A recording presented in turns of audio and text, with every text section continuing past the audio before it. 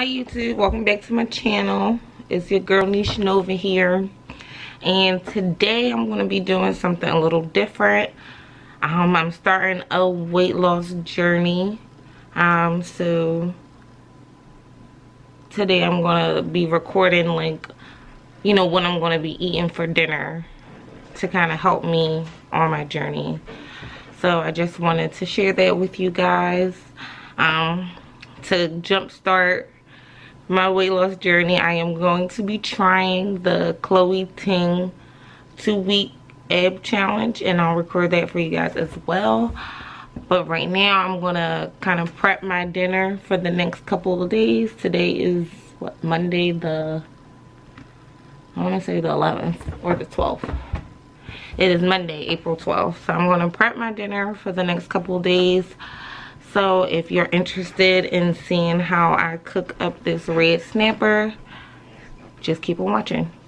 Okay guys so for the fish I'm going to be eating it with vegetables. I'm going to bake the fish in the oven. But before I do that I do want to make the vegetables to kind of stuff in the fish or put in the foil packet. So here I just have some onion tomatoes and then I have a small um, habanero pepper pepper or you can use like the Jamaican hot peppers but I didn't see that so I have a habanero which has good flavor. I have some spinach some mixed vegetables and I'm also going to be using this fish flavored soup mix. And I'm going to start that right now so I can have it cool down in the pan. And this is the snapper I bought. They're um, still frozen so right now I have the pan on like a medium high heat. and I'm just going to start off with the onion and then the pepper. I like my food kind of spicy, or at least my red snapper. So I'm going to put the pepper in for the whole time that everything is cooking.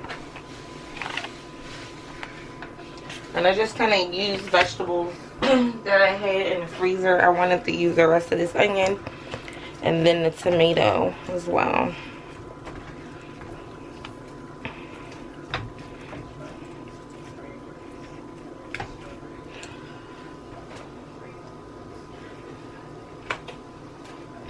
I probably should have left the pan a little bit hot, but it's good.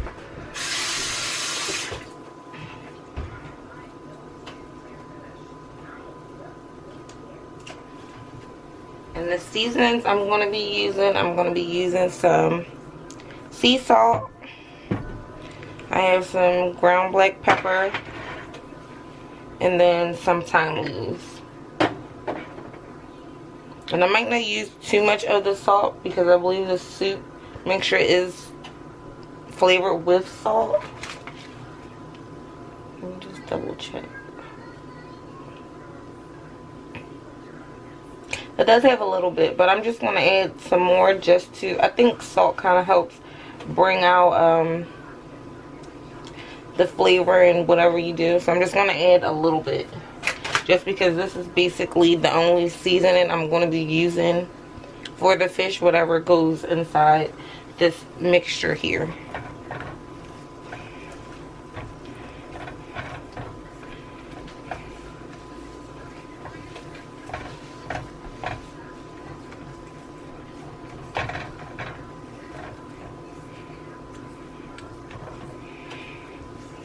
So I don't want them to get too soft because they are going to cook in the oven more when I um, bake the fish. But I do want to break them down a little bit to make sure that the mixture is getting flavor. I'm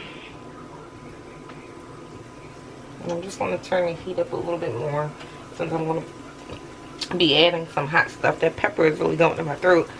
I'm going to add in some spinach. And since this is going to be my vegetables, I'm going to do about like half of the pack. About that much. And then I'm going to add in the mixed vegetables. I'm going to do maybe like a quarter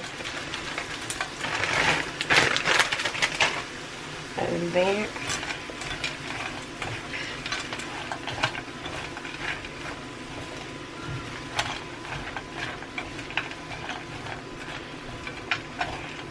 And that should be a good amount for the three pieces. So it's really like a lot of vegetables, a good amount of protein, but still keeping, you know, the calories low so I can create that deficit to lose weight.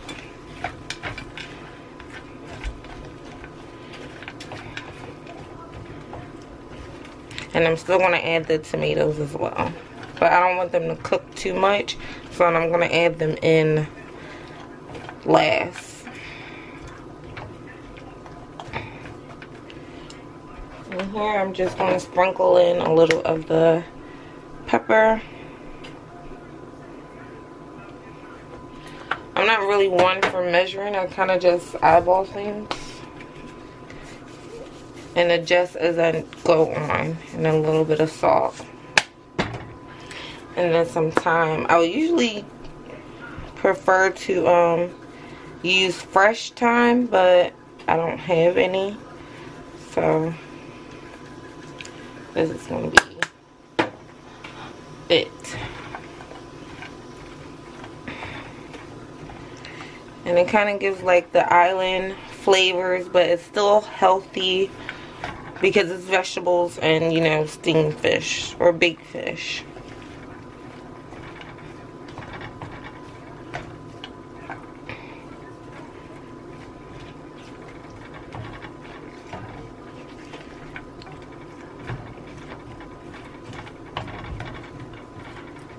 So that's kind of breaking down.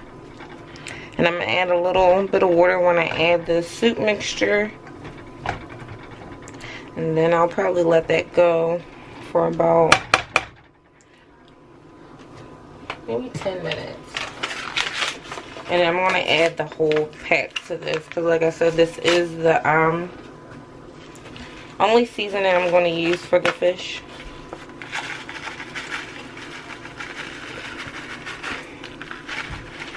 I know it seems like a lot, but once I add the water, it won't be. And then you gotta remember, it's gonna be the liquid for the fish and the vegetables, so it's nice and moist and not dry.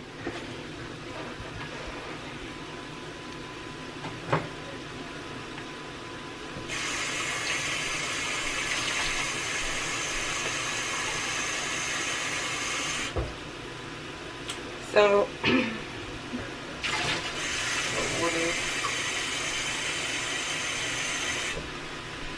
I'm sure how much that is, but it's like a little Pyrex bowl full of water. I would say about a cup or a little over a cup, and I'm just going to add that in here.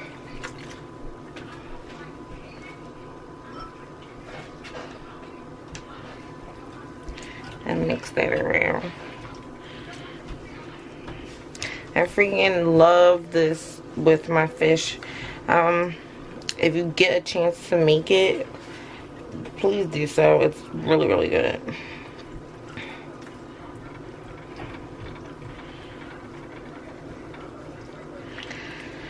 So I'm to let this go for about 10 minutes. Let it come to um, a little boil.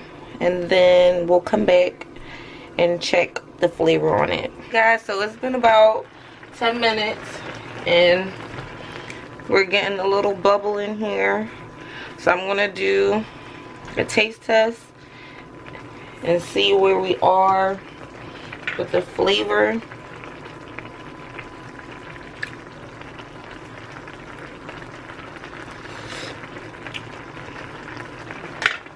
Mmm, it tastes really, really good really really good Ooh, and it got a nice little spice to it now if you don't like spicy food and you try this recipe you can remove the seeds from the pepper or just add it in close to being finished so it doesn't cook that long with the vegetables.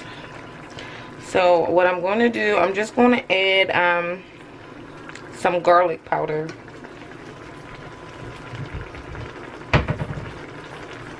But it really has a really nice flavor and that I believe you know is the fish soup. And then the added salt just kind of helps boost the flavor.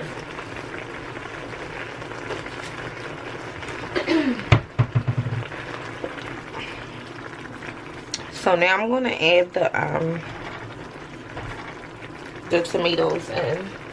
And I wish I had more but like I said I just kind of used what I had in the refrigerator left over.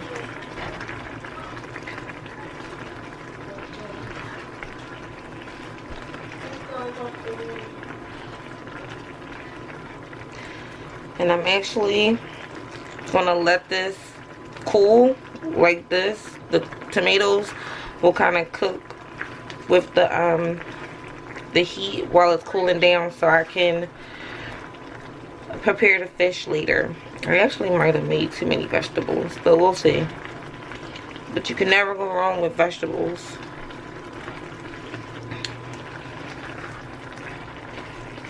And if I can always freeze this mixture and use it for fish later. So I'm going to turn the heat off. And I'm going to just let this do what it do. And then once the fish is ready to be prepared.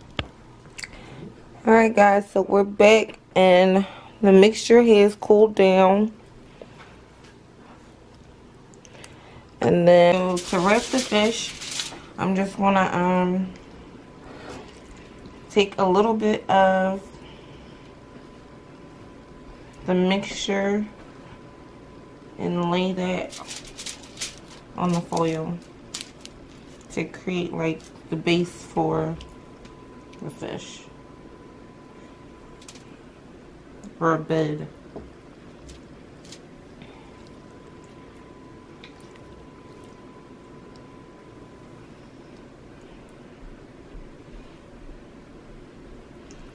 And then I'm just going to take one piece and lay it on top. And I'm going to go back in and put more vegetables on top. I would usually um, stuff the fish with the vegetables, but the cavity isn't that deep. And if you want, you can season the fish, but I'm not going to because I kind of want this seasoning from the vegetables to be the only seasoning that I use so I can get more of the freshness from the fish.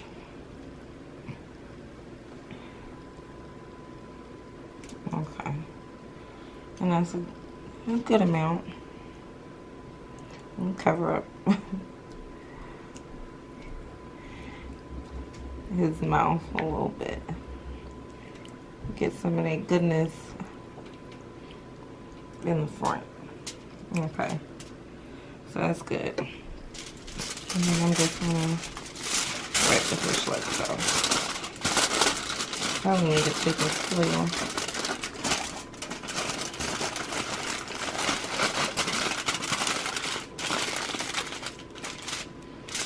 And then I'm gonna fold this part in. And then the back end, but I do have two pieces of foil here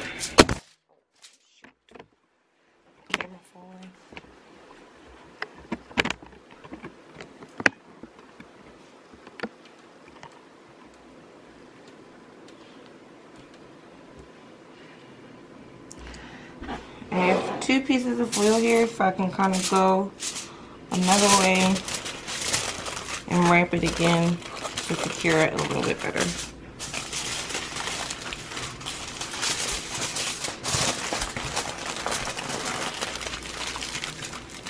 And that's about it. So I'm going to put the rest of them all in their little pockets and then I will show you the finished product. As I just took the fish out of the oven and I baked it at 350 degrees for 35 minutes. So it should be nice and done. So let's unwrap the foil and see what we have. And see all that juice this is is about to be good.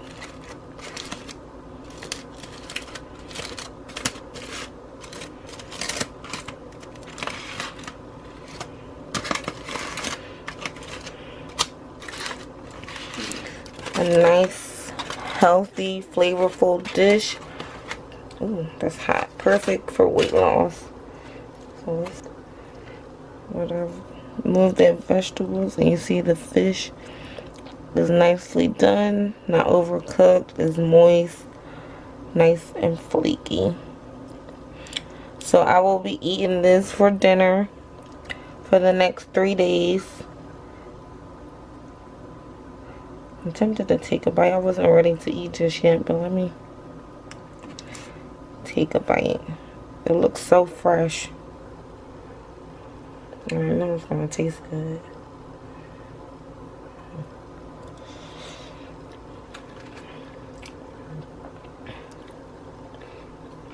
Definitely fresh. It has nice flavor to it. And it's nothing but fish and vegetables. So it's definitely a good meal for weight loss. Or even just to enjoy if you like fish. And look at all that juice. And the fish tastes amazing. And I didn't use any seasoning on the fish alone. Just on the vegetables. That's so good. Alright, well this is what I'll be eating for dinner for the next three days. Um, I'll show you guys what I eat for breakfast and lunch. If you like this video, make sure you thumbs up and subscribe.